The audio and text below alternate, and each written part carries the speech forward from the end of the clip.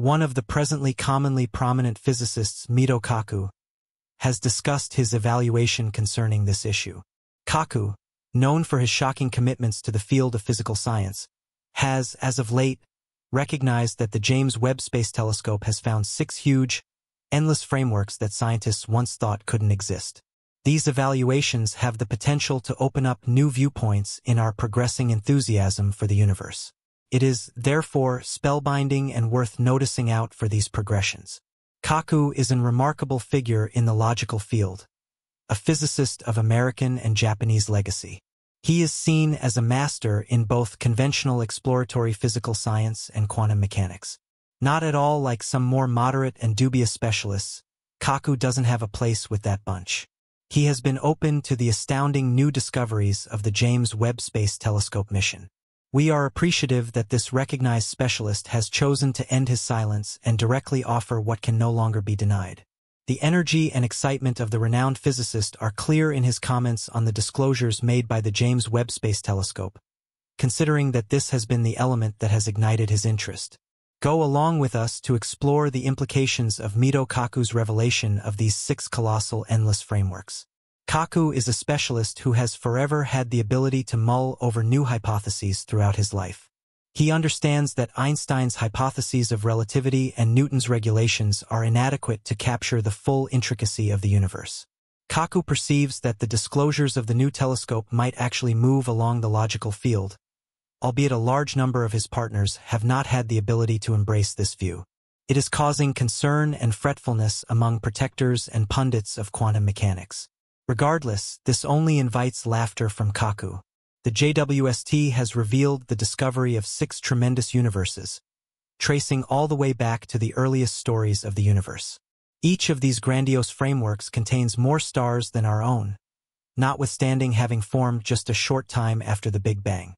The group of cosmologists who made the discovery has named these sublime frameworks universe breakers, as their presence would change our whole comprehension of the universe. Something here no longer fits with the theory of the Big Bang, which tells us that the universe was a war zone after the initial event. The first strong objects required countless years to form, and it took even more years for objects to reach a valuable density and produce light. The advancement of complex structures like universes should have happened much later. Some of the newly found frameworks outperformed the Milky Way in size, and their enormous brilliance shows that they were likely forming some new stars consistently, while our world forms stars only irregularly. It remains muddled precisely when the first universe is formed. Researchers have been unable to decide this until recently.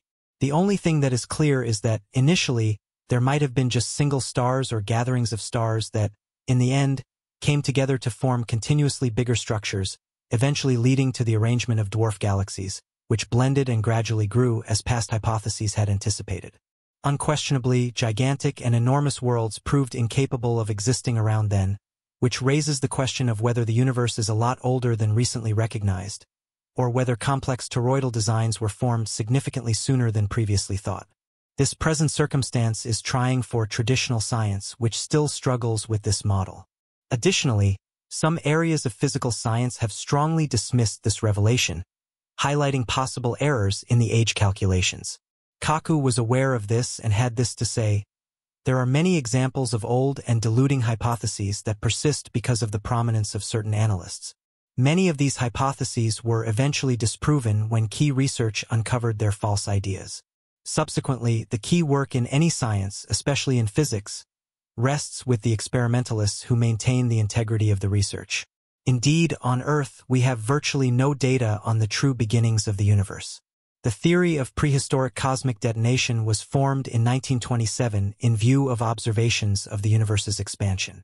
This led to the conclusion that the universe began from a single point and has been expanding ever since. At the time, it was hard for people and researchers to imagine a universe with a beginning and an end. The possibility of a universe that had always existed and was boundless in time was beyond human imagination. Even today, researchers still face challenges in comprehending it. However, it is pivotal to rethink these possibilities.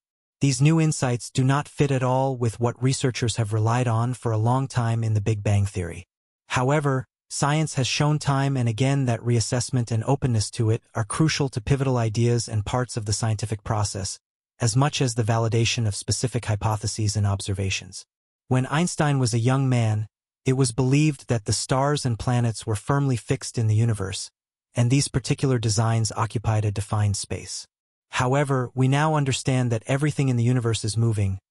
Planets orbit stars, stars move within their galaxies at different kilometers per second, and whole galaxies move rapidly through the universe, the destiny of which we can't yet predict. Today, researchers are challenged to accept uncomfortable discoveries, and it is understood that theories are not just assumptions or simple pieces of insight until they are fully tested or confirmed by precise observations. The possibility of the Big Bang arose out of the affirmation that galaxies are escaping from each other, and this distance is proportional to the separation from Earth. This observation, known as Hubble's law, proposed that the universe was expanding. For many years, parts like cosmic microwave background radiation and the redshift of light from distant galaxies and other cosmological designs seem to support this hypothesis. Anyway, it is important to remember that, before, people who misrepresented the Earth as flat and believed the Sun orbited the Earth also had this kind of proof for their doubts, until events or technological advancements provided a clearer and more accurate picture. Right now, we are seeing a similar situation. Researchers predicted the new JWST to confirm the assumptions related to the Big Bang. However, instead, they have encountered the six frameworks that appear very advanced for their age. This reminds us that science is continuously evolving and that researchers must be open to new discoveries and reevaluate existing hypotheses based on available evidence. Specialists use redshift as a tool to determine specific measurements in the study of the universe. Redshift, also known as the Doppler effect, refers to the change in the color of light as the light source and the observer move relative to each other. To understand this, you can imagine stopping and listening to a car coming toward you. As the car approaches, you hear the engine grow louder. However, once the car passes you or moves away, the engine sound changes. This is because the sound changes as the car moves. The same is true for light. When a light source, for example a distant star, moves toward us, the light we see shifts toward blue tones. Alternatively, when the light source moves away from us, the light shifts toward redder hues. This phenomenon is called redshift. Physicists have converted redshift values into speed, velocities, and distances for measuring totals in the study of the universe. However, it is important to note that small errors in these measurements can have huge implications. The measurement methods previously used are now under review, and the results that specialists will arrive at concerning the latest discoveries related to our universe are intriguing, considering whether these results are truly based on redshift errors or whether some specialists are simply denying the facts. This is a question that requires intensive assessment and careful investigation of the data and procedures used in the study. As scientific inquiry advances, the discoveries made by instruments like the James Webb Space Telescope frequently challenge our assumptions about the universe. The new discovery of six huge, boundless frameworks, tracing all the way back to the early stages of the universe, is one such example. These frameworks, which challenge conventional theories of galaxy formation, raise critical questions about the timeline and processes involved in the development of large structures.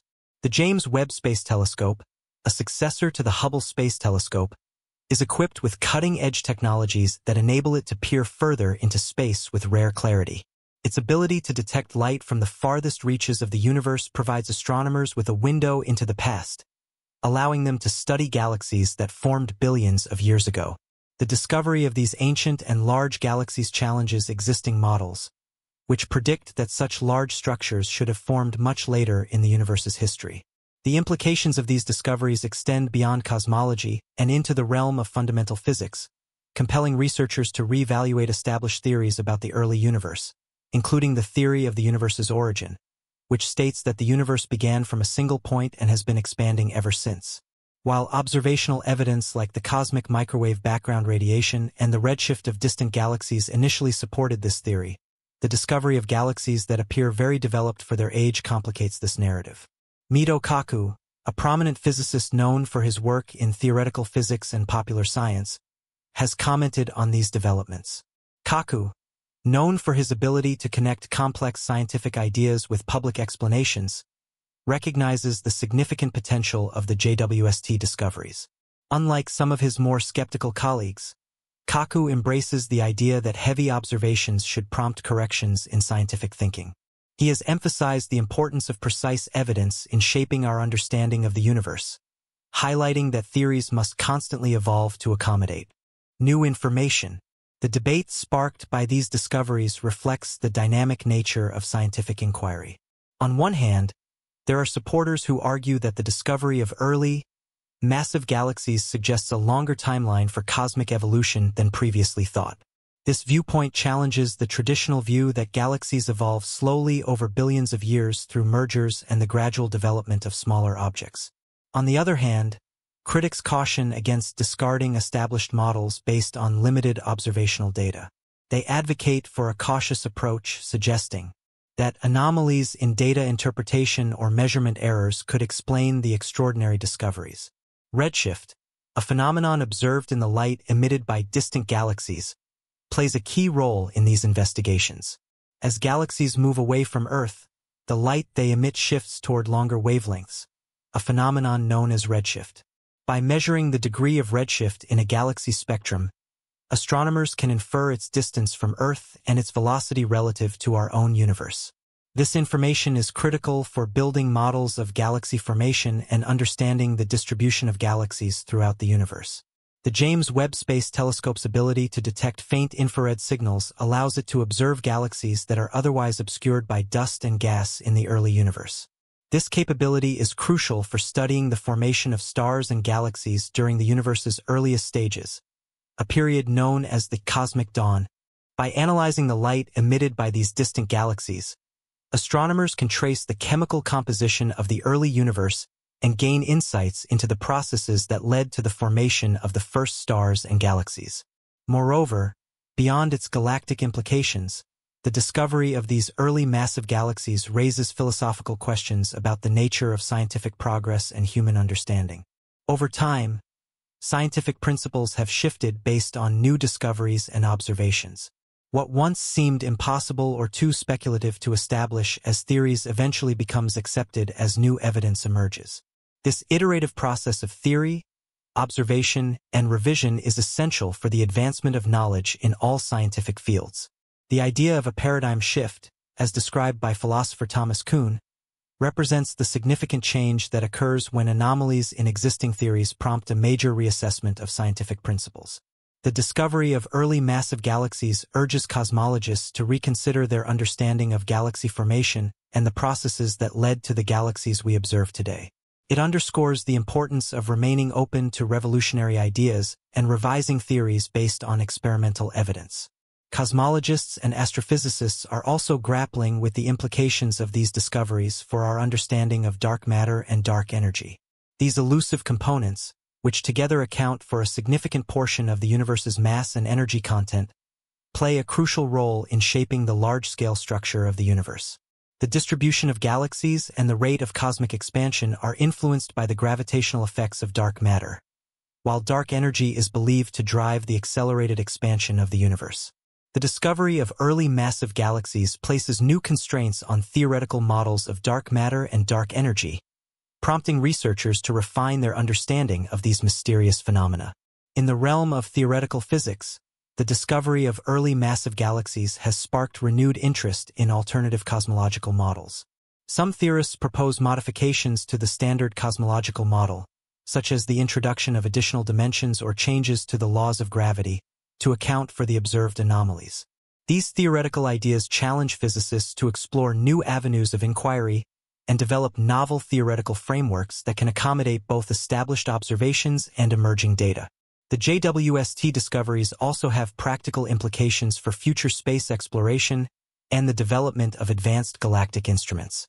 By pushing the boundaries of observational capabilities, the telescope provides valuable insights into the technical challenges of studying distant galaxies and other large-scale phenomena.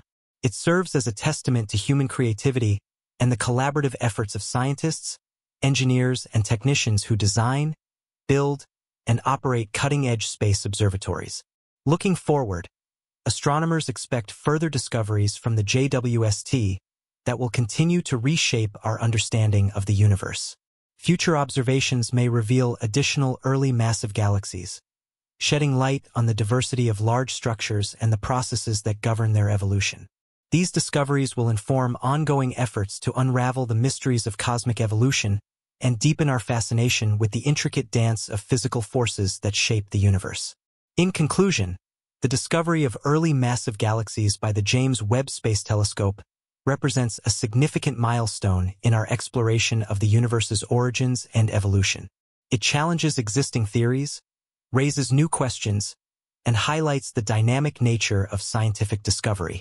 Michio Kaku's perspective on these developments emphasizes the importance of embracing uncertainty and remaining open to groundbreaking revelations as humanity continues to probe the mysteries of the universe. Each new discovery brings us closer to unraveling the vast tapestry that surrounds us.